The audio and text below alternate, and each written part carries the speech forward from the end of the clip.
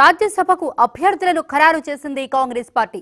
రాజస్థాన్ నుంచి పార్టీ అగ్రనేత సోనియా గాంధీ నామినేషన్ దాఖలు చేశారు.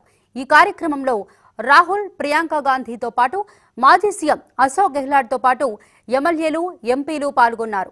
ఇక తెలంగాణ నుంచి రాజ్యసభ అభ్యర్థులుగా సీనియర్ నేత రేణుకా చౌదరి మాజీ ఎంపీ అంజన్ కుమార్ యాదవ్ కుమారుడు అనిల్ కుమార్ యాదవ్ను ఎంపిక చేసినట్లు సమాచారం. అటు కర్ణాటక నుంచి సీనియర్ నేత అజయ్ మాకెన్కు అవకాశం కల్పించనున్నారు. బీహార్ నుంచి అఖిలేష్ ప్రసాద్ సింగ్ హిమాచల్ ప్రదేశ్ నుంచి అభిషేక్ సింఘ్వి మహారాష్ట్ర నుంచి చంద్రకాంత్ను రాజ్యసభ అభ్యర్థులుగా ఎంపిక చేసినట్లు ఏఐసిసి వర్గాలు తెలిపాయి.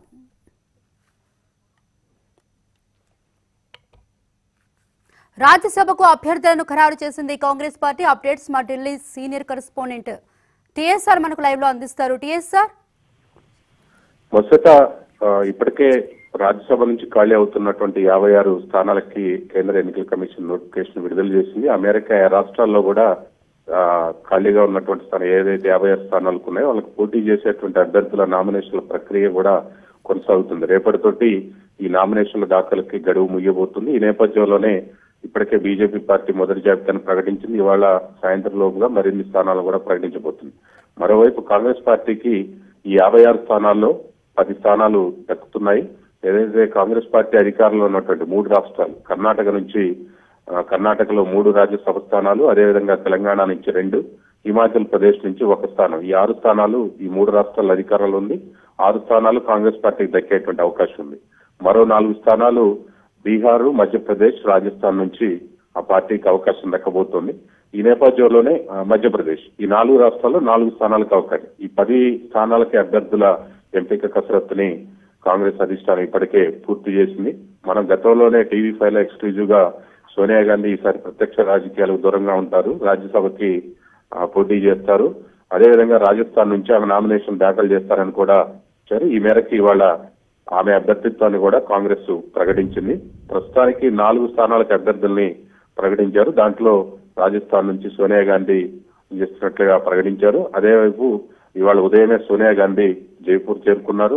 ఆమెతో పాటు కుమారుడు కూతురు రాహుల్ గాంధీ ప్రియాంక గాంధీ కూడా ఆమె అంటున్నారు ఇప్పటికే ఆమె జైపూర్లో రాజ్యసభ అభ్యర్థిగా నామినేషన్ దాఖలు చేశారు. మరో మూడు స్థానాలకి బీహార్లో ఉన్నటువంటి కానీ గాని అదేవిధంగా మహారాష్ట్ర ఈ మూడు స్థానాలకు కూడా మరో ముగ్గురు అభ్యర్థుల్ని ఖరారు చేసినటువంటి పరిస్థితి. ఇక ఆరు స్థానాలకు సంబంధించిన మిగిలిన ఆరు స్థానాలకు అభ్యర్థుల కసరత్ ఎంపికను కూడా పూర్తి చేసింది కాంగ్రెస్ పార్టీ. ఏ క్షణానైనా కూడా ఆ జాబితా విడుదలయ్యేటువంటి అవకాశం ఉంది.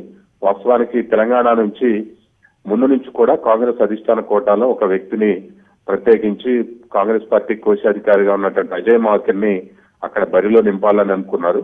అయితే రానున్న లోక్సభ రాజ్యసభ ఎన్నికల తర్వాత ఇప్పుడు సోనియా గాంధీ రాజ్యసభకు ఎన్నిక అవుతున్నారు కాబట్టి రాబోయే రోజుల్లో రాజ్యసభలో కూడా సోనియా గాంధీతో పాటు ఆమెకు అన్ని విధాలుగా తోడుగా ఉండేలా గాని అన్ని రకాలుగా చూసుకున్నప్పుడు ప్రస్తుతం లోక్సభలో అదే రాజ్యసభలో ఉన్నటువంటి అంబికా సోని త్వరలోనే రిటైర్ అవుతారు ఆ తర్వాత వచ్చే రాజ్యసభలో సోనియా గాంధీతో పాటు కాంగ్రెస్ పార్టీ నుంచి ఒక సీనియర్ నాయకురాలు అనుభవజ్ఞ నాయకురాలు ఆమెతో పాటు సోనియా గాంధీతో పాటు ఉండాల్సినటువంటి అవసరం ఉంది. ఆ కోణంలోనే సీనియర్ రాజకీయ నాయకురాలు అనేక విషయాలపై పట్టున్నటువంటి ఆ అనర్గళంగా మాట్లాడగలిగినటువంటి సీనియర్ నేత రేణుకా చౌదరిని ఆ కోణంలోనే ఎంపిక చేసుకున్నట్లుగా నాకున్నటువంటి సమాచారం.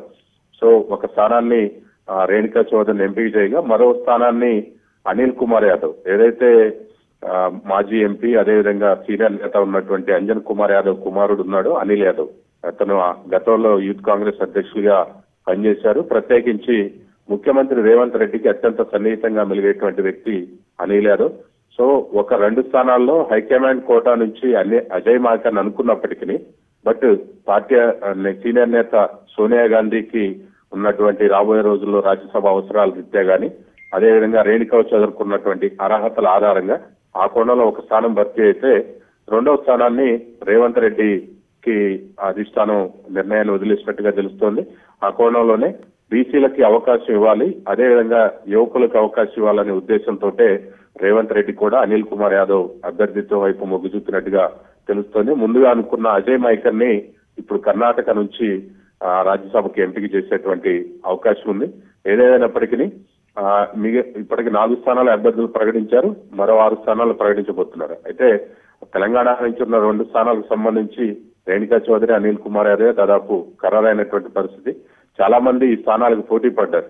గతంలో పిసిసి అధ్యక్షులుగా పనిచేసినటువంటి వి హనుమంతరావు గాని అదేవిధంగా సీనియర్ నేతగా ఉన్నటువంటి జానారెడ్డి గాని మొన్న అసెంబ్లీలో టికెట్ దక్కక అవకాశం కోల్పోయిన చిన్నారెడ్డి గాని ఇట్లా అనేక మంది నేతలు కూడా రాజ్యసభ సభ్యత్వాన్ని ఆశించారు. కానీ వాళ్ళకి ఎవరికి అవకాశం లభించలేదు. అనేక కోణాల్లో ఆలోచించి సోనియా గాంధీకి రాబోయే ఉండేటువంటి రాజ్యసభలో రాజకీయ అవసరాలు గాని రేణుకా చౌదరి గారికి ఉన్న రేణుకా చౌదరికి ఉన్నటువంటి రాజకీయ అనుభవం ఆ కోణాల్లో ఆమెని అదేవిధంగా బీసీలకి యువకులకి అవకాశం ఇవ్వాలనేటువంటి కోణంతో మనం మొన్న కూడా చూస్తే ఎమ్మెల్సీ అభ్యర్థుల ఎంపీకి సంబంధించి కూడా ఎన్ఎస్సీ అధ్యక్షుడిగా ఉన్నటువంటి బల్ము వెంకట్ని ఎమ్మెల్సీగా ఎంపిక చేశారు. అంటే రాబోయే రోజుల్లో యువ నాయకత్వాన్ని కూడా అతను ఎన్ఎస్సీ అధ్యక్షుడిగా ఉన్నాడు. సో ఆ కోణంలోనే బీసీ యువకుడిని ప్రోత్సహించాలనే ఉద్దేశంతో రేవంత్ రెడ్డికి సన్నిహితంగా ఉన్నటువంటి అనిల్ కుమార్ యాదవ్ని రెండో రాజ్యసభ స్థానానికి ఎంపిక చేసినట్టుగా తెలుస్తోంది Madhushweta.